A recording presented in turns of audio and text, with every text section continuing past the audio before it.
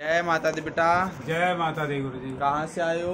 बागपत तित्रोदा से आए गुरु जी अच्छा क्या काम बना है? किस चीज़ की कढ़ाई लेके आए हो आज? लड़ाई गुरु जी संकट की है कई साल से संकट था गुरु जी क्या परेशानी बनती थी घर में? परेशानी लड़ाई झगड़े गुरु जी बेरोजगारी से सब काम चलते थे। अभी माता रानी की कृपा से संकट कट गया। संकट चलो बोलो साचे। दरबार की जय।